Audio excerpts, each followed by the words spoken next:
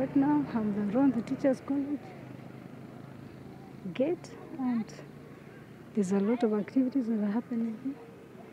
Kindly watch the video, give it a like, share and subscribe.